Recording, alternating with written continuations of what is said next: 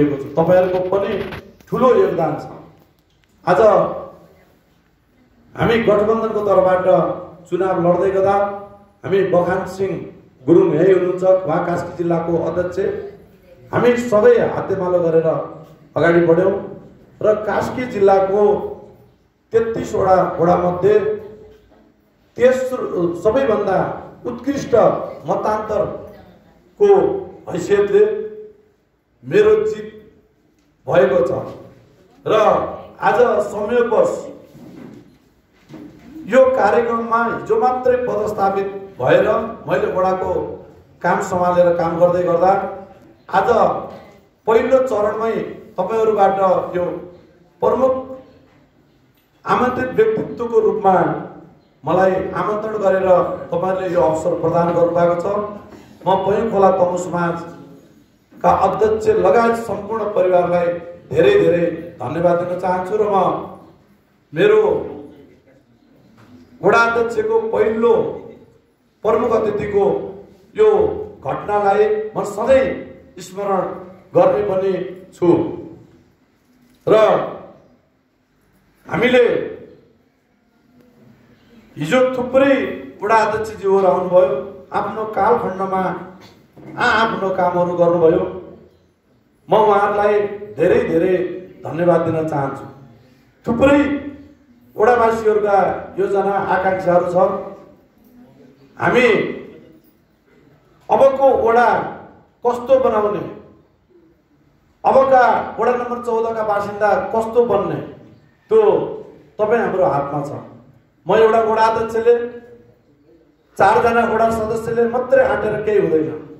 हामी सम्पूर्ण यो पैँखोला तमु समाज लगायत यहाँका सम्पूर्ण विभिन्न जात जातिका समुदाय आमा समूह टोल क्लब सबैलाई समेटेर यो वडालाई नमुना वडा बनाउन पहिला हामी सरसफाइबाट सुरुवात गर्ने जमर्को गरेका छौँ मैले हिजो पदस्थापना कार्यक्रममा भने हामी सातवटा काम यो हनिमुन पिरियडमा हामी एक सय दिनको पिरियडमा हामीले काम गर्ने जमर्को गरेका छौँ ती कामहरूलाई सर्वप्रथम त हामीले गत साल निवर्तमान मेयर साहबले छुट्याएको वडा भवन निर्माण गर्न नसकेर हामीले बजेट छुट्टिएको छ। जग्गाको कारणले हाम्रो विशेष गरी हाम्रो वडाध्यक्षज्यूले समन्वय गर्न नसक्दा हाम्रो भवन बन्न सकेको छैन। म यसलाई पहिलो प्राथमिकताको रूपमा मैले नयाँ भवन बनाउनको लागि मैले तुरुन्तै यसलाई बजेट विनियोजन भइसकेको छ। यसलाई शिलान्यास गरेर यसलाई औपचारिक किसिमबाट सुरुवात गर्ने मैले सोच गरेको छु। यो वडाको गौरवको कुरा हो। त्यस्तै सरसफाइ अभियान। सरसफाइ अभियानलाई देखिने गरेर सबै वडावासीहरूलाई अन्य वडाभन्दा नमुना वडा बनाउनको लागि त्यसको लागि मैले सबै दाजुभाइ दिदीबहिनी बुवा आमाहरूलाई युवाहरूलाई त्यसलाई परिचालन गरेर आफ्नो घर अगाडि आफैले सफा गर। जसरी हामीले आफ्नो घरभित्र असाध्य चिटिक्क पारेर सफा गर्छौँ त्यसरी नै आफ्नो घर अगाडि कसैको पन्ध्र हात होला कसैको तिस हात होला कसैको पचास हात होला त्यो आफ्नो जग्गा जति छ त्यो चर्चेको जग्गालाई आफैले सफा गर्ने। टोलले आमा समूहले त्यसको अगुवाई गर्ने। हामी वडाले हामी वडा पनि सरिक हुने त्यो खालको अभियान हामी गराउनेछौँ। त्यस्तै सरकारी विद्यालय तथा क्याम्पसहरूलाई छात्रवृत्ति वितरण गर्ने जो मैले कदर गरेको छु।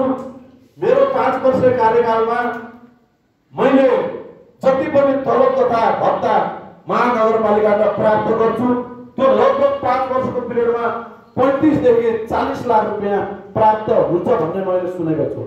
त्यो सबै पैसा मैले विपन्न गरिब र निमुखा जो अन्ध अपाङ्ग त्यस्ता र जसले विद्यालयमा आफ्ना छोराछोरीहरूलाई भर्ना गर्न सघाउनु भएको छैन ड्रेसमा यी लगायतमा खर्च गर्ने मैले प्रतिबद्धता जाहेर गरेको छु। चौध नम्बरमा विपन्न वर्गका महिलाहरू सुत्केरी हुँदा उन उनीहरूलाई त्यो बच्चाहरूलाई स्याहार गराउन आफू नै अलिकति पोसिलो हुनको लागि सुत्केरी पोषण कोसेली भनेर ओडाको प्याकेज अन्तर्गत हामीले विपन्न वर्गका महिला दिदीबहिनीहरूको लागि यो प्याकेज हामीले पस्केका छौँ र हामी त्यो सुत्केरी हुने महिलाको लागि ओडामा जानकारी हुनासाथ हामी त्यो घरमै पुर्याएर हामी सेवा गर्नेछौँ र ओडाका ओडाका मुख्य मुख्य बाटोहरू जो अहिले हामीले देखिरहेका छौँ हामी पहिलो खोला गाउँ समाजको हलमा छौँ र यसैको अगाडि मेन रोडहरू अहिलेलाई ओडाको मुख्य मुख्य बाटो मर्मत भनेका छौँ हामीले। र अहिले काजी पोखरी क्याम्पसको अगाडि हाम्रो कमल गुरुङ दाईको घर अगाडि लगभग भनौँ न त्यो एरियामा मेन रोडमै खाल्टा खुल्टी छ। त्यसलाई हामी देखिने गरेर र यो मात्र नभइकन ओडाका मुख्य बाटोहरूमा ग्राइबेलबाट अहिले तुरुन्तै ग्राइबेलबाट त्यो रोलरले पेलेर हामी त्यसलाई सम्म बनाएर खाल्टा खुल्टी रहित बाटा बनाउनु छ हाम्रो यो हनीमुन पिरियडमा त्यसपछि हामीले यो बाटोको हकमा हामीले लगभग तपाईँको अमरसिंह चोकको यो जुन हाम्रो सिमाना यो वीरेन्द्र चोकदेखि चाउते चोकसम्म हामीले यो पोखरामा भइरहेको अहिले यो अक्सफार्ड प्लान्टको पिच जुन पिच एकदमै अन्तर्राष्ट्रिय मापदण्डको पिच हो। त्यो पिचलाई मध्यनजर राखेर हामीले वीरेन्द्र चोकबाट चाउथे चोकसम्म यो हाम्रो वडाको मुख्य भागहरूमा हामीले कर्मिक रूपमा यो पिच गर्नेछौँ। लगभग हाम्रो छदेखि सात किलोमिटर हुनेछ। हामी यसको लागि हाम्रा मेयर साहब उपमेयर साहब हाम्रा पार्टीका नेताजीहरू गठबन्धनका नेताजीहरूलाई यो गुहारेर हामीले अघिल्लोचोटि पनि यो प्रयास गरेका हौँ र पोखरामा छब्बिस किलोमिटर यो अलकत्रबाट यो अस्पताल प्लान्टको बाटो पिच भइसकेको छ। आज महेन्द्रपुरवासी लेक साइडवासी पृथ्वी चोकवासी रामबजारवासी कति सर हिँड्नु भएको छ त्यो सुविधा हामी चौध नम्बरवासीले लिनुपर्छ। यसको लागि म अगुवाई गरेर यसको काम गर्नेछु। र हामीले वडामा तथा हाम्रा हाम्रा सबै घरमा वाइफाई सुविधा छ। तर हामी वडामा जाँदाखेरि वडाको बाहिरपट्टि र सेवा गराएर जाँदाखेरि वडाको कार्यालय अगाडि र जुन विपन्न वर्गका समुदायहरूको लागि ध्यानमा राखेर प्रत्येक चोकहरू मुख्य मुख्य चोकहरू जहाँ मानिस जम्मा हुनुहुन्छ जहाँ विपन्न वर्गका समुदायहरूको घर छ त्यस्ता बस्तीहरूमा फ्री वाइफाईको व्यवस्था गराउँछौँ। वडा कार्यालयबाट फ्री वाइफाईको व्यवस्था गरिसकेपछि तपाईँ तपाईँ वडावासीहरू वडा कार्यालयमा जाँदा तपाईँहरूको डकुमेन्टहरू कागजपत्रहरू पुगेन भने त्यही तुरुन्तै घरबाट वाइफाईको व्यवस्था भइसकेपछि तपाईँहरूले तुरुन्तै त्यो डकुमेन्ट वडामा प्राप्त गर्न सक्नुहुनेछ र हामीले त्यही कम्प्युटराइजबाट तपाईँहरूको मोबाइलबाट निकालिदिन सक्नेछौँ र तुरुन्तै तपाईँहरूको सेवा दिने हामीले अटोट गरेका छौँ। यो यसको लागि पनि हामीले यो हनी हनीमुन पिरियडलाई यो एक सय दिनको पिरियडलाई हामी बजेट कहाँबाट हुन्छ के केबाट हुन्छ हामी भन्दैनौँ। हामी बजेट भए पनि गर्छौँ नभए पनि गर्छौँ।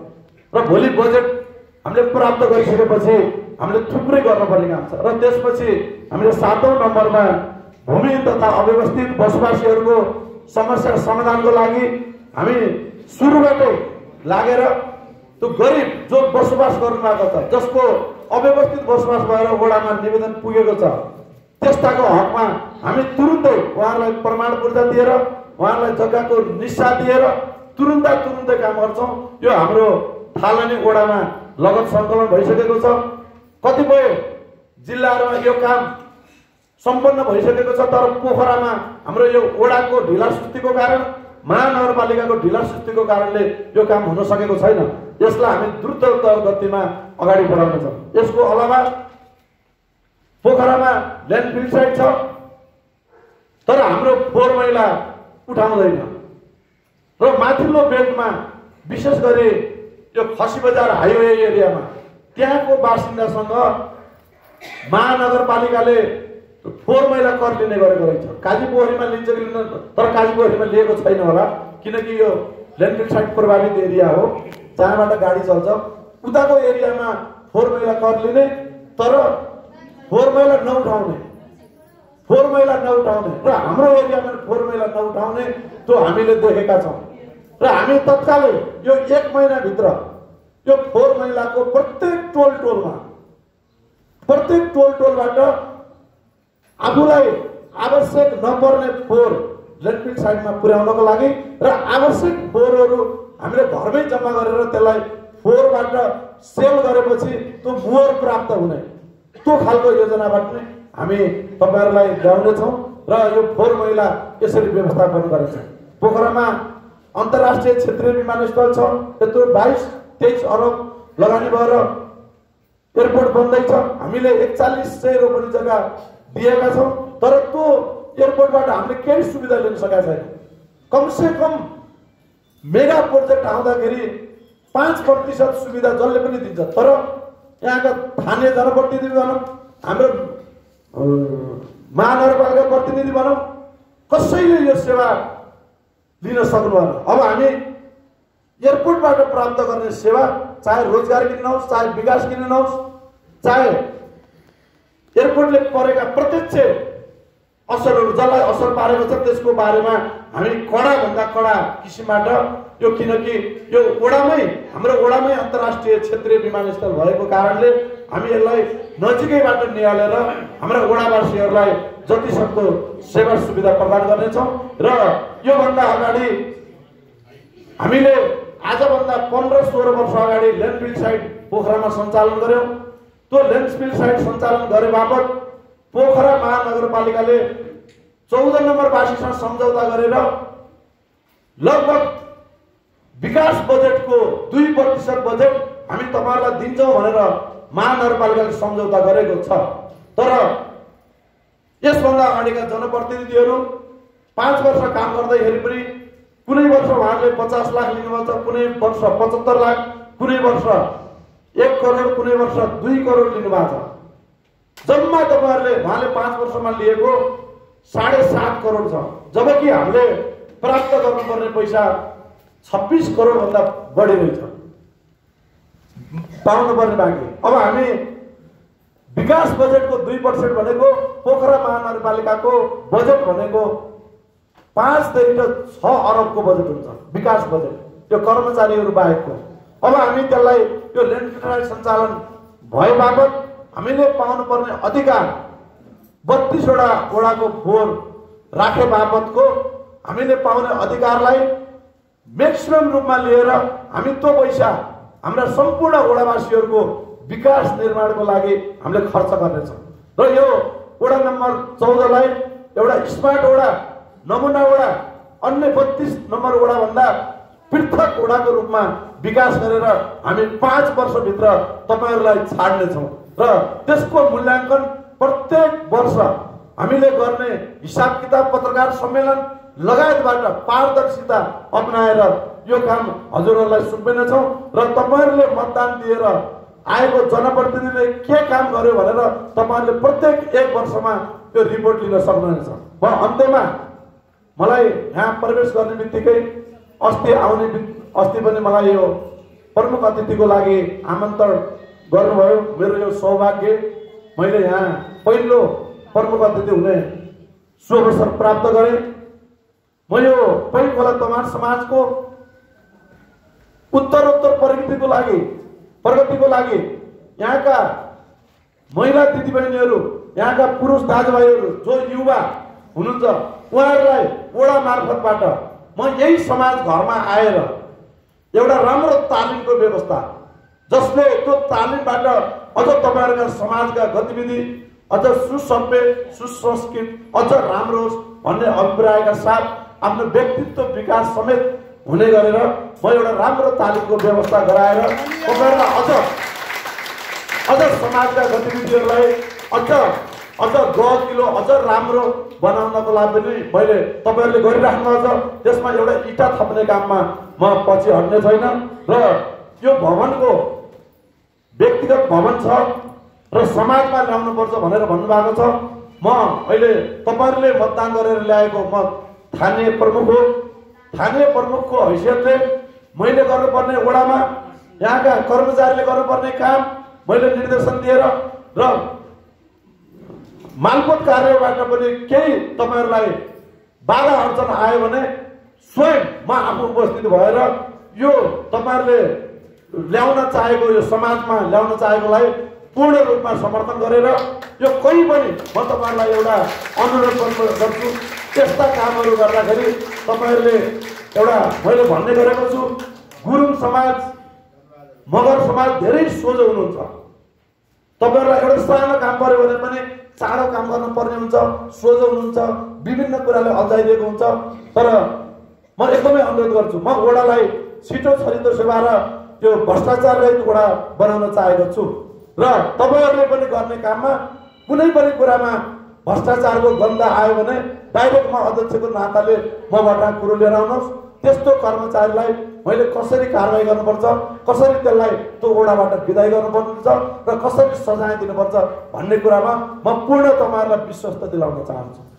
र यो तपाईँहरूको समाजको लागि अन्य कुराहरूमा पनि तपाईँहरूले भन्नुहोस् तपाईँहरूका व्यक्तिगत कामहरू सामाजिक कामहरूको लागि पनि म नजिकै रहेर तपाईँहरूसँग सधैँ साथ रहने विश्वास दिलाउँदै मलाई प्रमुख आमन्त्र प्रमुख अतिथि बनाएर बोलाउनु भयो आफ्ना कुरा राख्ने अवसर दिनुभयो र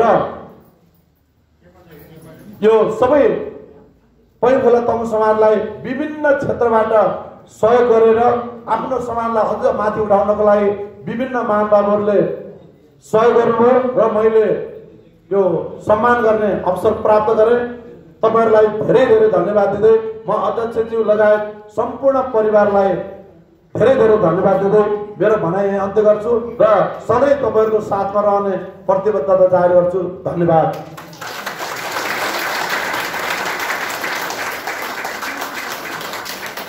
धन्यवाद छ। आजको प्रमुख अतिथि आदरणीय व्यक्तित्व वडा अध्यक्ष बोधराज कार्कीज्यूलाई। उहाँले एकदमै राम्रो